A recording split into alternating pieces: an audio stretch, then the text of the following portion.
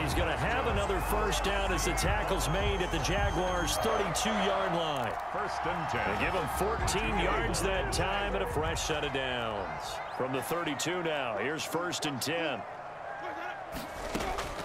Here's Winston.